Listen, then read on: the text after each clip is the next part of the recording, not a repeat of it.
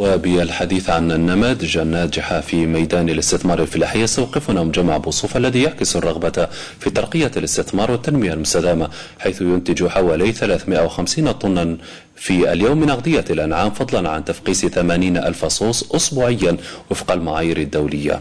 ربورتاج لنور الدين بن عبسة. كان عند وعده. عشر سنوات كانت كافية لتحقيق المراد. من وحدة إلى مجمع مع مضاعفة الإنتاج.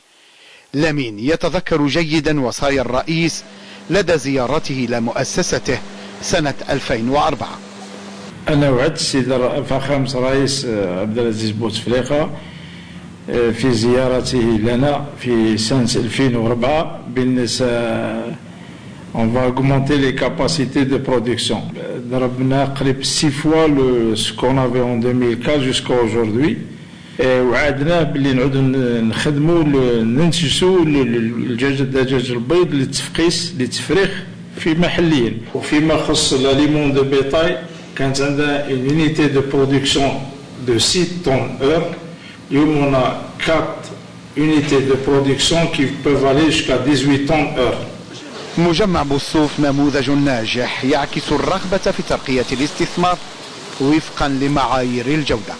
كما الفلوس فوسا كنا نجيبوه من من إيطاليا ومن إسبانيا كنا نجيبوه من المطار.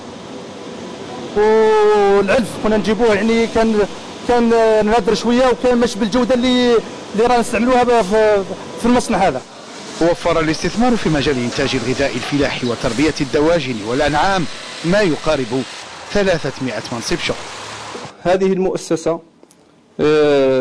من بين المؤسسات الوطنية الخاصة التي خلقت الكثير من مناصب الشغل. لا حصلت على منصب الشغل اللي كنت كما نقولوا أنا حاب حاب نعمل به.